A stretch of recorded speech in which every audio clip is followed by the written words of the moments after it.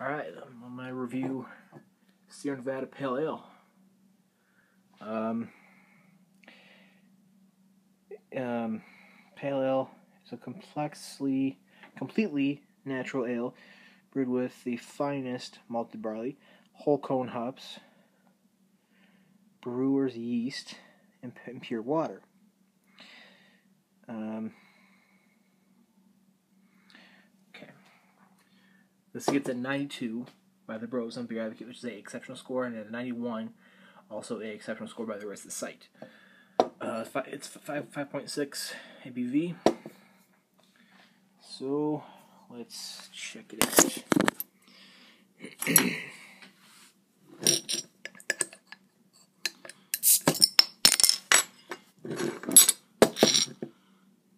See that smoke?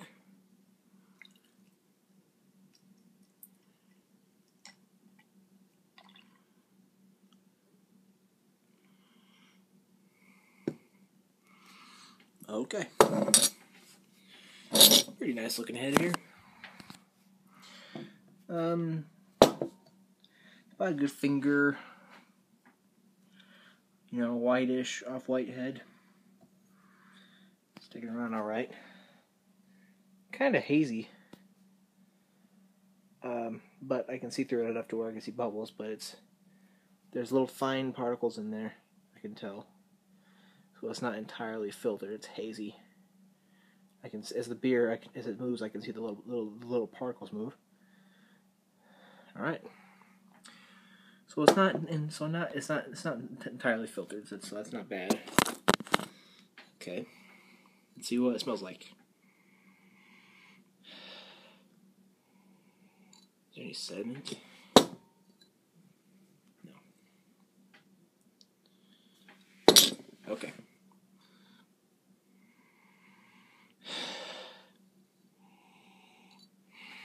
Maybe some hops. I'm not picking up a whole lot.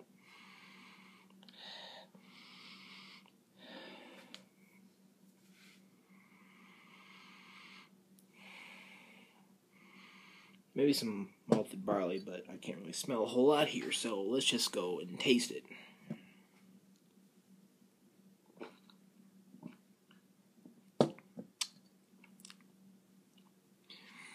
Nice hops at the front has almost the the herbal, grassy kind of herb or, herbal, grassy kind of florally character of, of of IPA hops.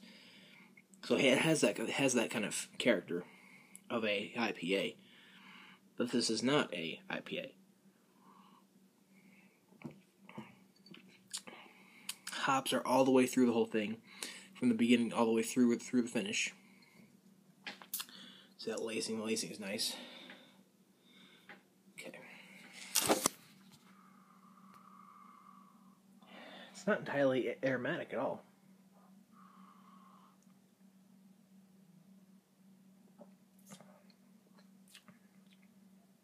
It's bready. It tastes bready and yeasty. I would say more yeasty.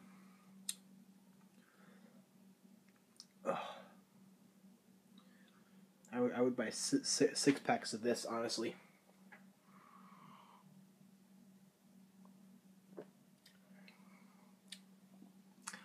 The barley malt is small, but it's there. So it's pretty much it's a it's a kind of a complex flavor, but it's hops all the way through where, where, wherever you taste anything else. There, there's always hops, but it's not it, the, uh, the the IBU must be low. I mean not low, but like mid range maybe, maybe mid range, maybe like I don't know maybe 30 40, something like that. No, it's not as bitter as a IPA, but the hops you can taste the hops. It's not entirely as bitter, you know, or nothing, but you can you can totally taste it.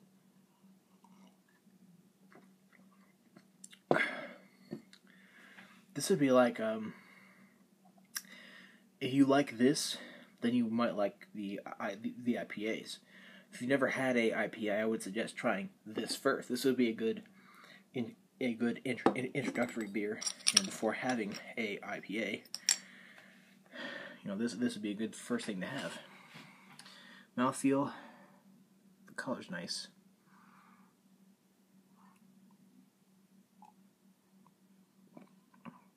It's light, but still has still is it's not thick or nothing, but it's still it's thicker than a than a lager, but you know it's not not as thick as you know a lot of ales are. Um, it's thicker, like like I said, it's thicker than a than a lager, but it's not really that thick at all. Drinkability is really high.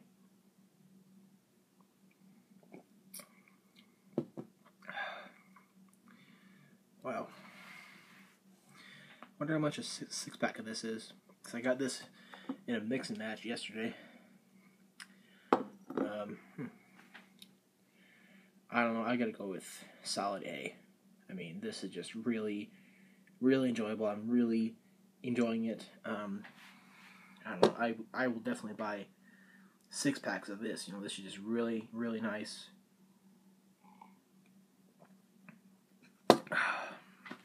This has to be one of the better beers I've had in my life. I think it could be argued that that, that, that this is A plus, but this is definitely yeah. I'm not I'm not going to go A plus just because um, you know I don't normally go that go that right, but this is just really enjoyable. It's really really good. Taste is just really nice. Um, if you like pale ales, I mean I think it's something something to, to try.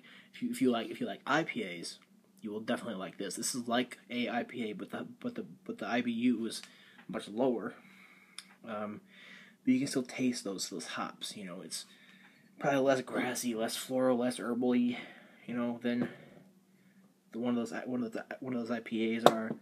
But this is still something that you that you should probably try if you love IPAs or just ales in general. This is something you have to you have to you have to try.